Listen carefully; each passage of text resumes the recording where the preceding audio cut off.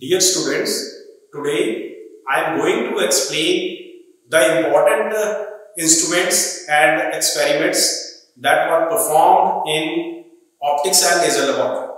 So first of all, introduce myself. Myself Dr. Tajinder Singh, HOD, PG Department of Physics. So this lab is very important in physics, optics and laser. Here we have a very good instruments and we perform a very good and fascinating and interesting experiments. Now let us start with uh, first equipment which is very important equipment spectrometer. Now what is this spectrometer? Actually this spectrometer is used to study the spectrum spectrum of the light which we have obtained through the different uh, instruments like that of the prism or the diffraction grating. Now first of all I introduce this spectrometer. This spectrometer has mainly three important parts. This first part is called collimator. This is the part. This is called collimator. This is the prism table. You can see the prism is placed on this prism table. The height of this table is adjustable by this screw. This is the telescope through which you have to study the spectrum. Now this is the source of light. You can see here we are using sodium lamp. Now what is the speciality about this sodium lamp? Sodium lamp is a monochromatic source of light. Monochromatic means single wavelength. So here we have placed this prism on this prism table.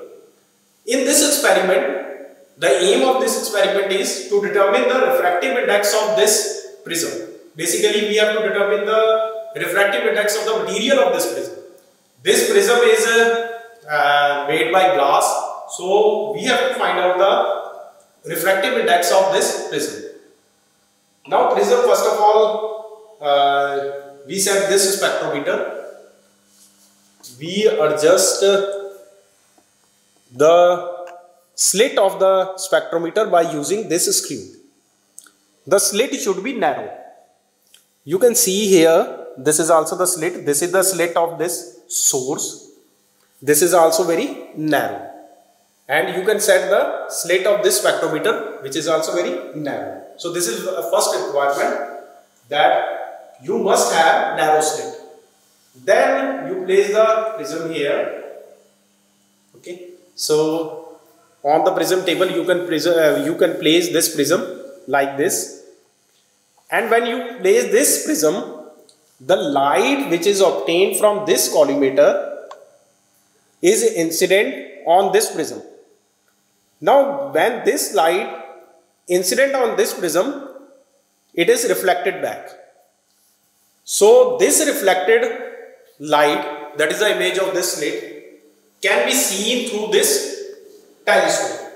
You can rotate this telescope in this direction. First you have to locate the slit here in this direction. Then you can move this telescope in this direction then locate the same thing that is the slit here. So in that way you have to determine the angle of prism. Then you change the position of the prism like that so that you have to obtain the minimum deviation through this prism. So again you can move this telescope and then rotate the slit. You can also rotate this prism table by finding out the minimum deviation position of the slit. So in that way you determine the angle of prism and angle of minimum deviation. After that by putting the two values in the suitable formula you can obtain the refractive index of the given material of this glass prism. So this spectrometer is very good instrument and we accurately measure and determine the refractive index of this prism. Again, we are using another experiment. Okay, so this is the experiment. This is also very good experiment. Here, instead of prism, we place here the diffraction grating. This is the diffraction grating I am just removing this diffraction grating so that you can see. This is the diffraction grating okay? This is diffraction grating. It is uh, made up by 15000 very sharp lines that is drawn on this uh, grating material. So we have a number of slits on this diffraction grating. You can place here in this stand. This is called the diffraction grating stand you can place the grating like that in this stand. You can adjust this grating and then locate the slits through this telescope of the spectrometer. Okay but here you can use the source instead of uh, sodium lamp we are using here the mercury source. And you can see the difference of the light here you have a white light basically this is not a monochromatic source we know that white light is a combination of seven colors and you can determine easily the wavelength of different colors like green, yellow, indigo, blue, red. So this is another very good experiment based upon this spectrometer. Again, so these are the experiments which are related to spectrometer. In this laboratory, we have a very good source of light that is the helium neon laser light. Just see it This is the helium neon laser. Okay, so this is the laser. Now what is the specialty about this laser? Laser is a monochromatic source of light or you can say uh, simply said coherent source of light. What is the meaning of coherent? Coherence means the photons, two photons, they must be in constant phase difference and having the same wavelength. Okay, so this laser light source is used here in order to determine the uh, different diffraction pattern or you can determine the wavelength of this laser. So you can see here, here it is, uh, this beam is incident on this diffraction grating and you can see that you have to obtain this uh, diffraction pattern or the spots you can see on the screen okay so in that way you draw here the line and locate these points.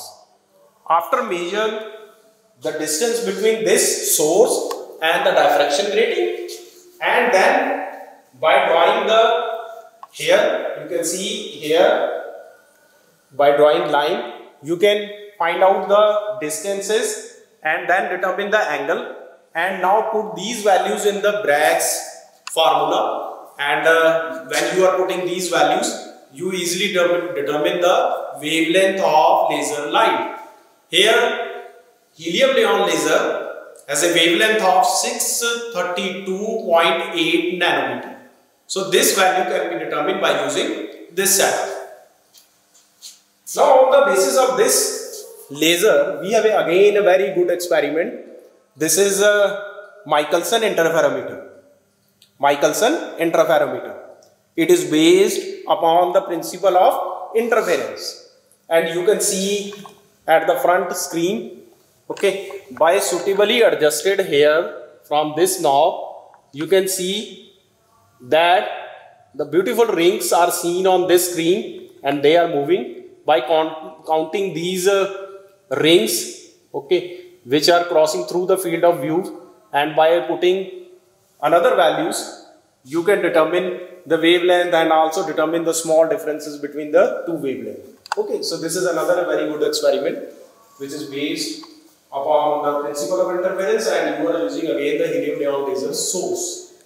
So this is an important experiment. Another, just a look on uh, this experiment that is a Newton ring experiment. Okay, so this is the experiment. Just see it.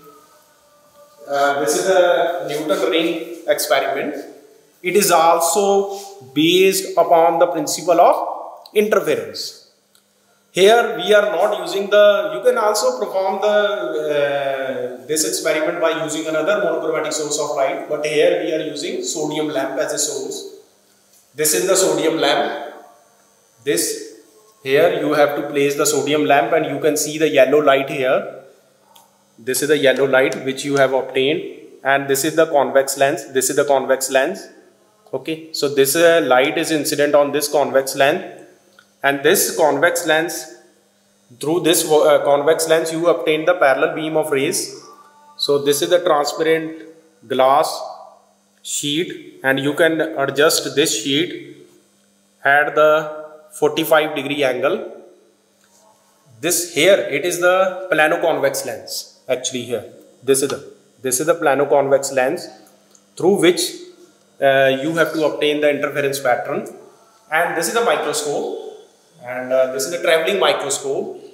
So by adjusting the traveling microscope in up and down direction you are easily seeing the focused image of very sharp Newton rings. So by using this experiment or the equipment, by using this equipment, you can determine the wavelength of light.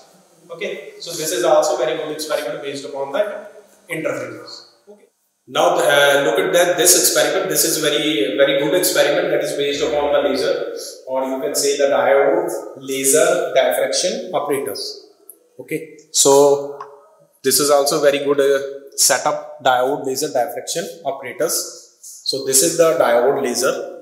This one, this is the diode laser.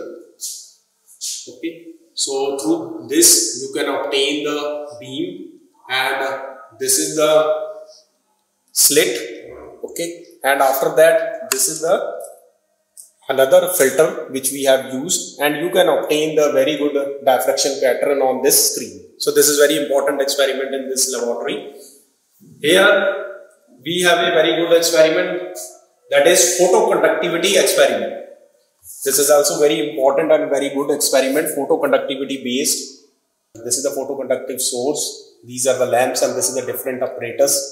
Okay, by using these apparatus or an analyzer, these, these are the, called the analyzer, you can suitably adjust the intensity of the lamp. Okay, so this is also very good experiment. Here we have also very good uh, this is a constant deviation spectrometer. You can see this is a constant deviation spectrometer. It is very good experiment. This is called drum. You can see this is called the drum. Okay. So by this drum you can calibrate this constant deviation spectrometer. Here you are placed the prism. Look at that. The shape of the prism. Okay. So here uh, the prism is somewhat of the different nature. Okay, so the speciality about this uh, prism is that this is the constant deviation prism. You have to obtain the different uh, deviation, deviations of the light through this prism. That is why this uh, instrument is called constant deviation spectrometer. So from this you can easily determine the thickness of this mica sheet by using this constant deviation spectrometer. So this is also a very good experiment. By using these uh, uh, apparatus, we are easily determine the thickness of the mica sheet. So these are the very good, very important instruments and uh, experiments in this uh, optics and laser laboratory. And I think uh, with, uh, with the use of these uh, instruments and by performing the various experiments, the students should have better clarity, better clarity about the concepts, concepts of the physics and better clarity of the theoretical concepts that is behind the optics and laser. So, thank you very much.